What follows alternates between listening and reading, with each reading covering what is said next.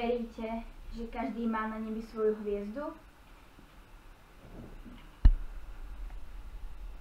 Moja by mohla byť tamtá. Ktorá? Tá zlatá, trblietavá. Všetky hviezdy sú zlaté a trblietavé.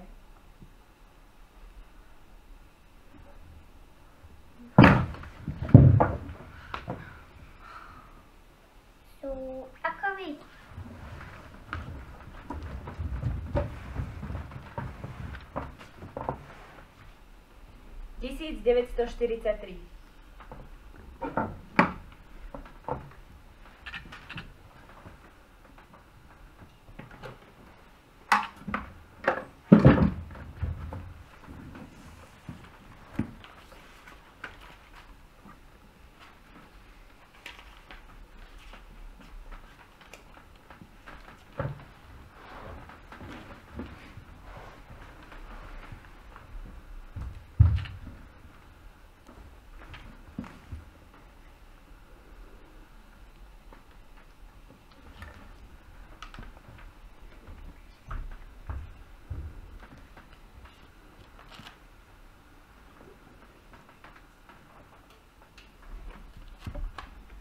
Tá musela byť dlhá, ako ty.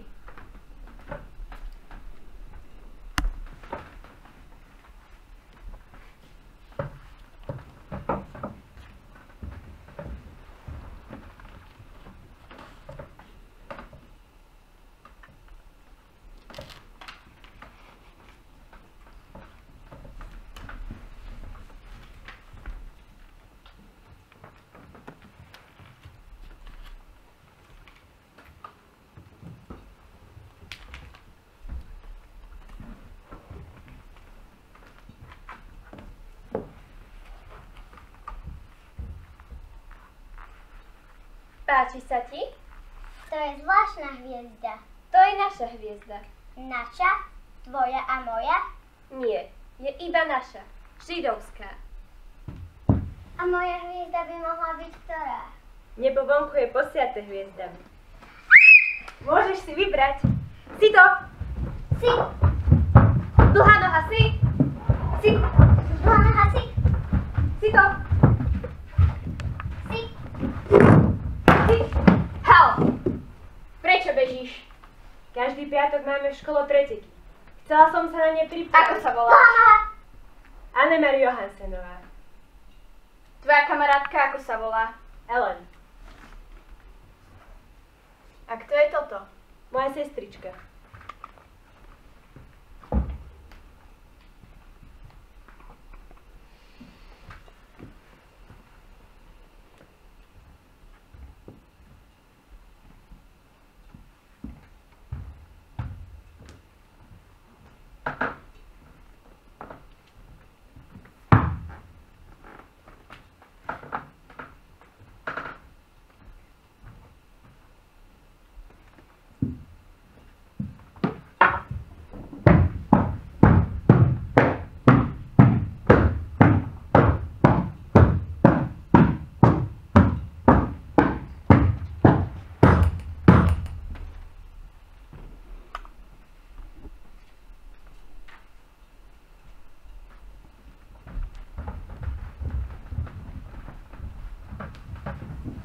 Šťuchol ma svojou zbraňou, ale ja som sa ho nebála.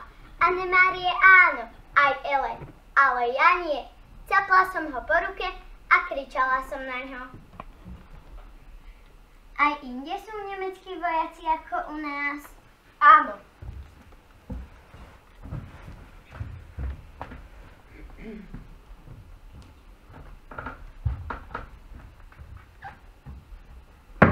Sú aj v Holandsku. Aj v Belgicku.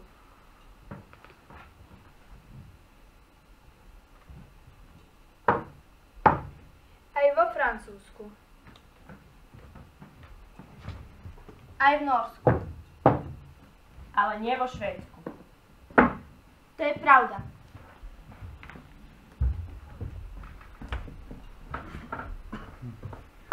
Švédsko je stále slobodné. Tam je, už ide.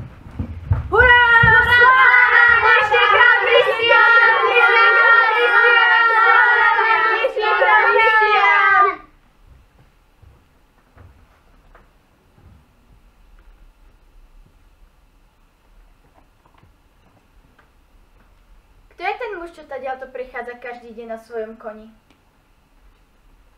To je náš kráľ, náš dánsky kráľ. A kde má osobnú stráž? Celé Dánsko je jeho osobná stráž.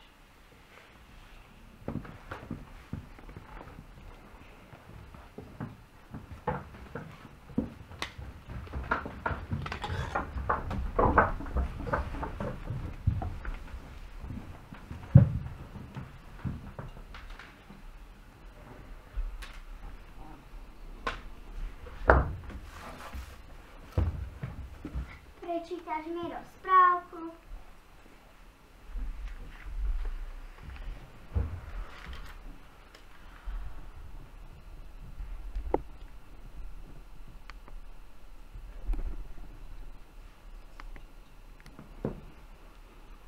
Je to pravda? Čo povedali tomu vojakovi? Áno, každý obyvateľ Dánska by položil život za kráľa Christiana, aby ho ochránil. Aj ty, mama? Áno, A ocko? Ocko tiež.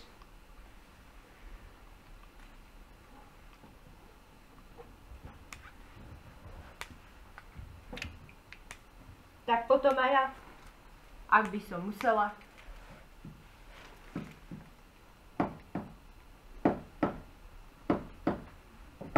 Dala by si svoj život. Skutočne. V rozprávkach museli ľudia dokazovať svoju statočnosť. Až tak, že umreli za kohosi iného. Ach áno, sú to cudzí vojaci. Odvážni vodcovia odboja, z ktorých niektorí prišli o život. Ale obyčajní ľudia. Je dobré byť obyčajným človekom.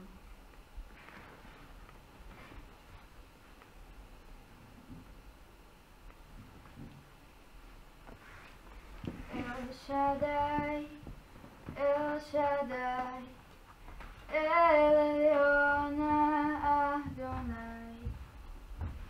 Age to age is still the same by the power of the name El Shaddai, El Shaddai, Ekankana Adonai.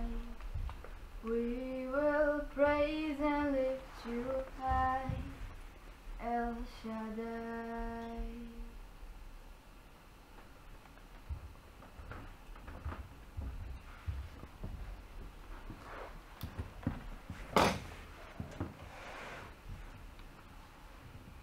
Vojaci chcú zatknúť všetkých dánskych židov.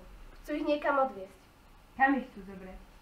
Nevieme kam, ale vlastne ani prečo. Nazývajú to presídlenie. Vieme len, že to nie je správne. Ale neboj, u nás si v bezpečí.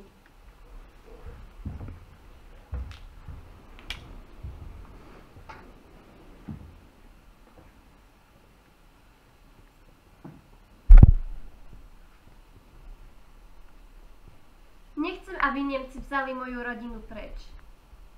Aby sme žili niekde inde. Ale byť mŕtvý je ešte horšie. Neboj sa, nezoberú ťa preč, ani tvojich rodičov. U nás si bezpečí.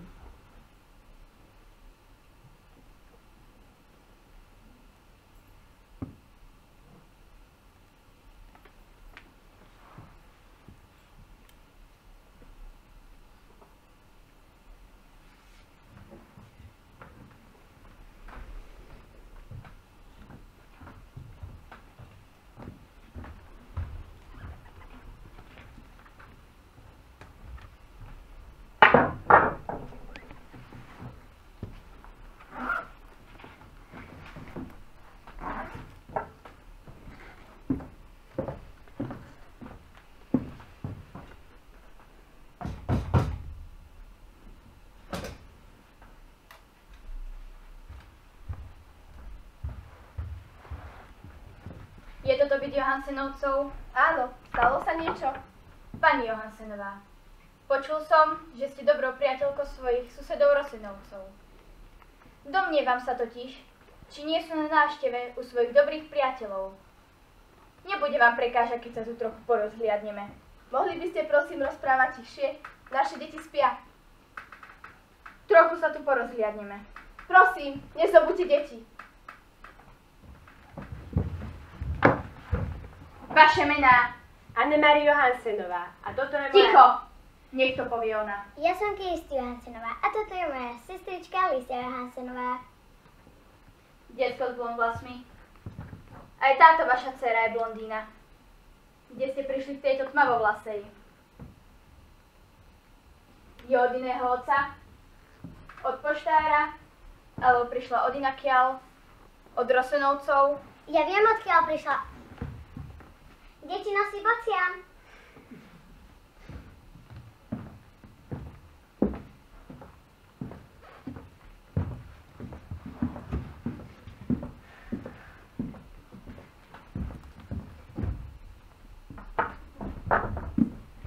Podozrievajú nás. Myslím, že nastal čas, aby sme išli k môjmu bratovi.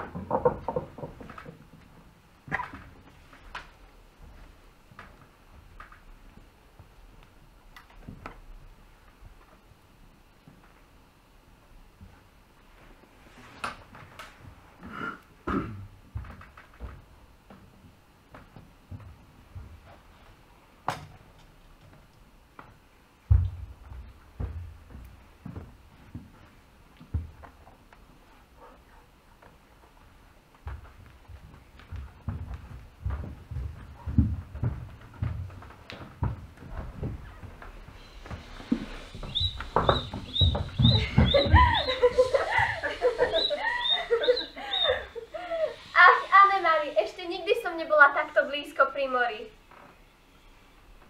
Aha, pozri. Čo to je?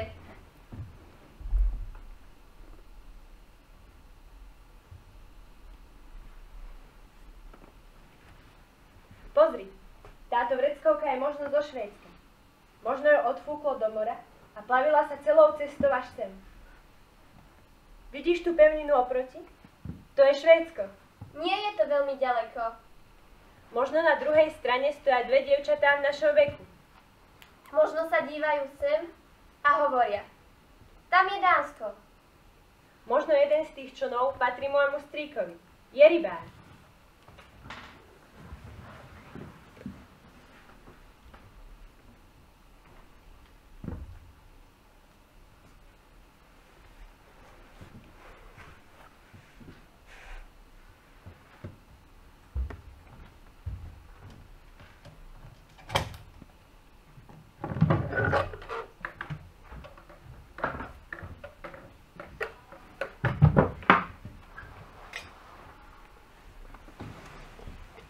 Kde zmizlo.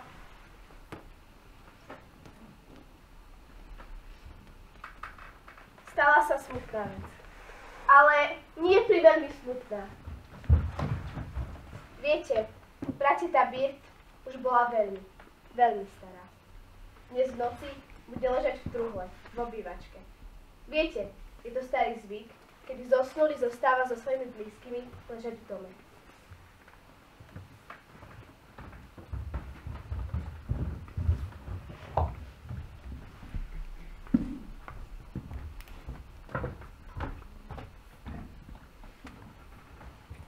Prateta Birte.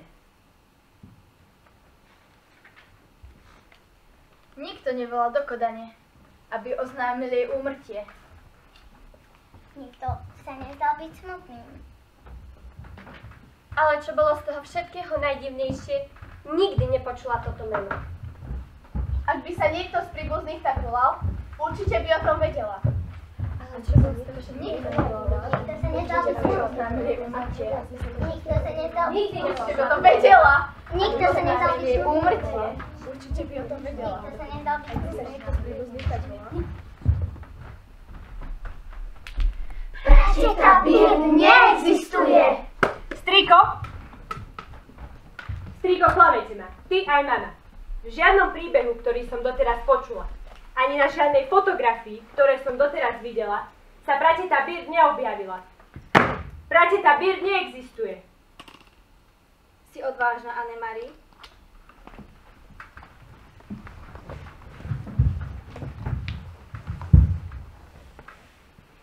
Odvážna, vyľakaná, Zmetená? vystrašená, Ale odhodlaná. Ako mama a ocko. odvážna, vyľakaná, Zmetená? Vystrašená? Ale odhodlaná. Ako mama a ocko. Mi. Myslím, že to nie je pravda. Je ľahšie byť odvážnym, ak nepoznáš celú pravdu. Tak ani ja, ani mama nepoznáme celú pravdu. Rozumieš mi? Ale teraz choď a pomôž mame pripraviť izbu.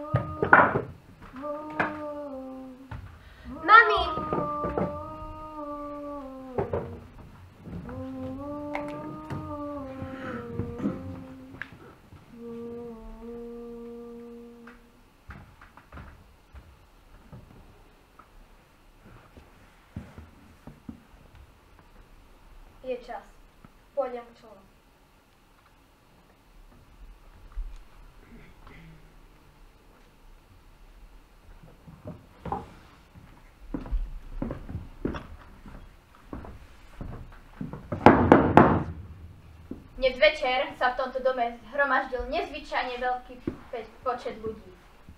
Chcem vedieť dôvod. Navštívila nás smrť. Viete, je to starý zvyk, kedy sa príbuzní rozlúčia so zosnulým. Som si istá, že poznáte naše zvyky. Poznám vaše zvyky veľmi dobre. A viem, že sa so svojimi milovanými lúčite posledným pohľadom na ich tvár. Prečo je zavretá? Otvoríme ju, aby sme sa naposledy pozreli. Som taká rada, že ste to navrhli. Viete, prateta Bird zomrela na tyfus a doktor povedal, že by mohla mať na telo ešte baktérie. Ale čo ten o tom vie? Starý dedinský doktor. Pravda, že otvoríme truhlu. Halt!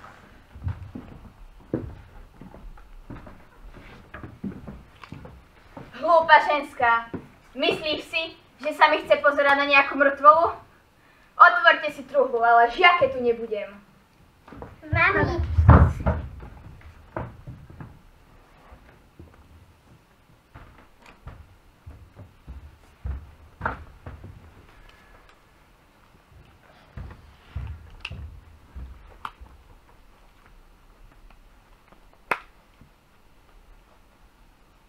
Chválte pána, lebo je dobré ospevovať nášho Boha.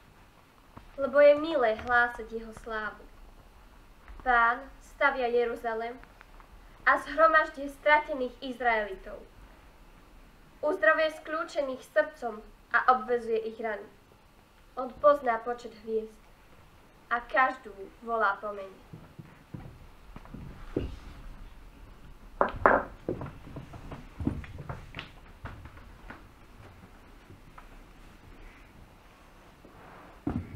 Nebo vonku je posiate hviezdami. Ako môže niekto poznať ich počet? A poznať každú z nich. Nebo je obrovské, veľké a chladné. Celý svet je taký. Príliš veľký a chladný. Teraz. Už je čas.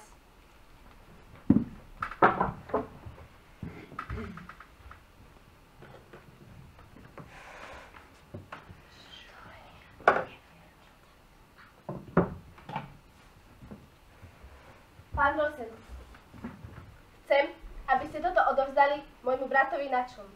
Je to nesmierne dôležité.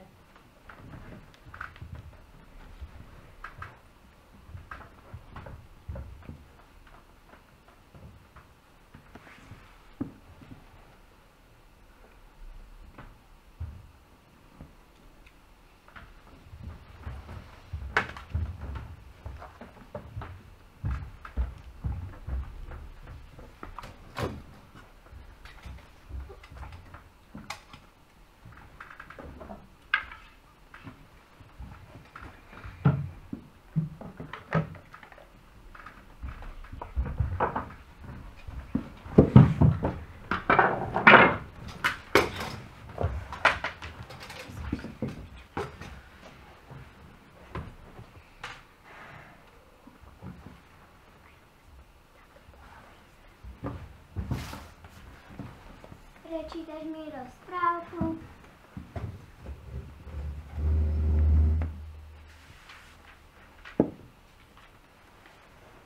Bolo raz jedno dievčatko, ktoré malo prekrásny červený kabátik. Ušila mu ho jeho mamička. Nosila ho tak často, až ju každý volal červená čiapočka. Prečo červená čiapočka a nie červený kabátik? Pretože kabátik mal kapucu, ktorú si dievčatko dávalo na hlavu. Možno ti mama tiež raz ušije kabátik s kapucňou, aby si si ju mohla dať na hlavu. Kabátik mal kapucňu a dievčatko malo nádherné vlásky, ako ty, Kirsty.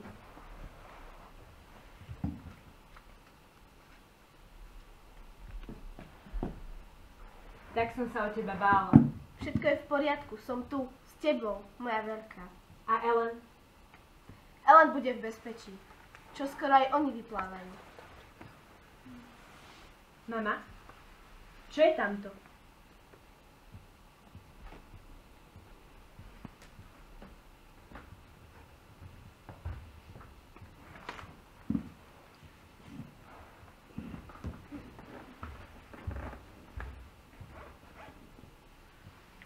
Vieš, čo to je?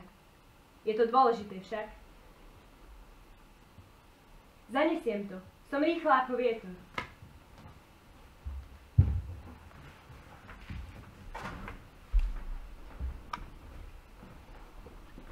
Ponáhľaj sa, ak by ťa niekto zastavil.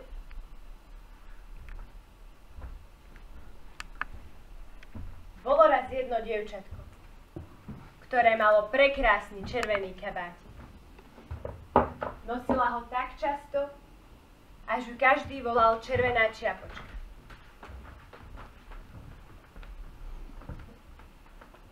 Jedného dňa išla k starej mame zaniesť Tieto lesy nie sú rozprávkové.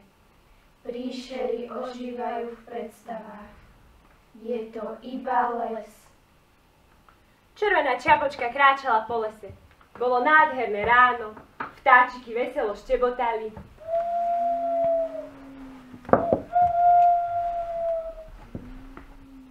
Červená čiapočka sa ponáhľala po lese, keď tu zrazu začula akýsi zvuk.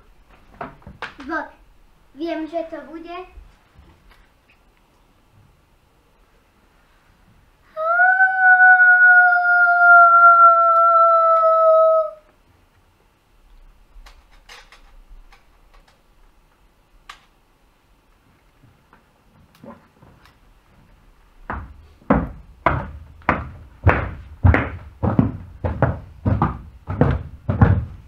Hal!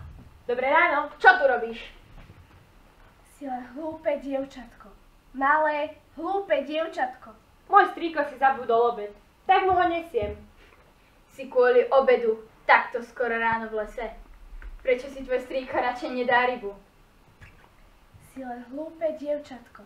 Malé, hlúpe dievčatko. Môj strýko ryby neznáša. Hovorí, že mu ich stačí vidieť a hlavne cítiť. No, keby umieral od hladu, asi by si dal rybu. Ja mám ryby rada.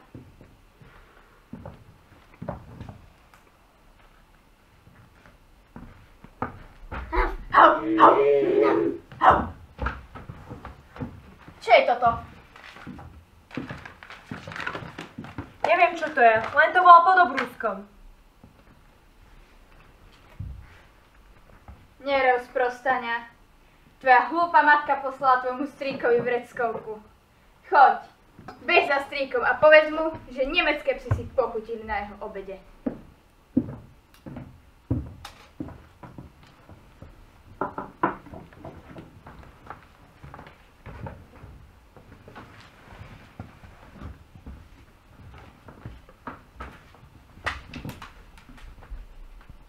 Strýko, mama ti poslala obed, ale zastavili ma vojaci. To je v poriadku. Teraz vďaka tebe viem, že je všetko úplne v poriadku.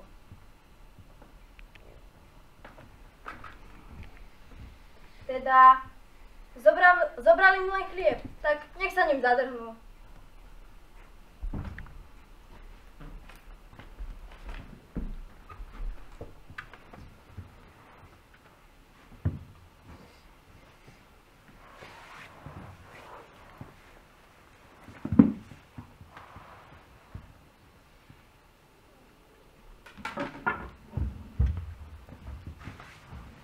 Ellen sa vráti?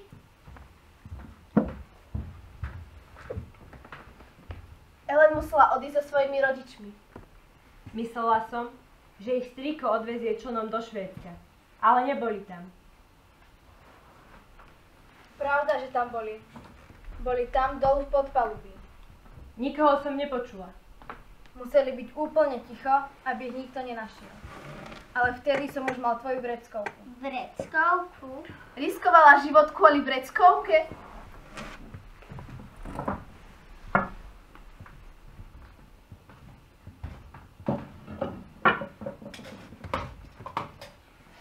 Nemeckých vojakov hnevalo, že im uniká toľko židov. A preto začali používať cvičené psy.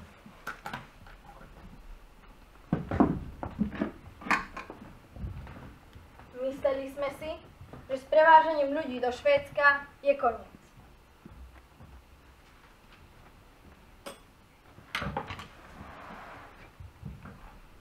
Švedskí vedci pohotovo zareagovali.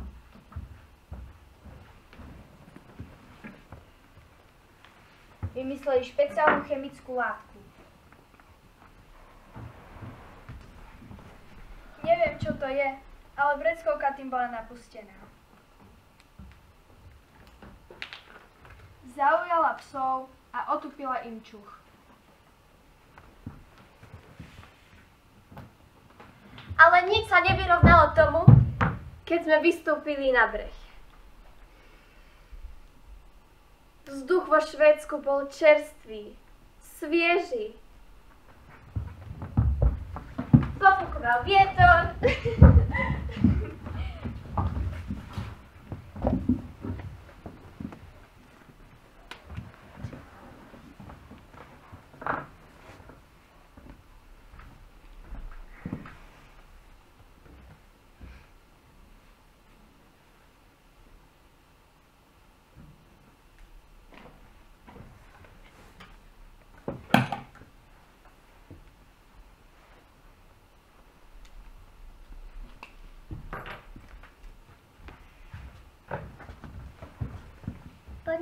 Домов.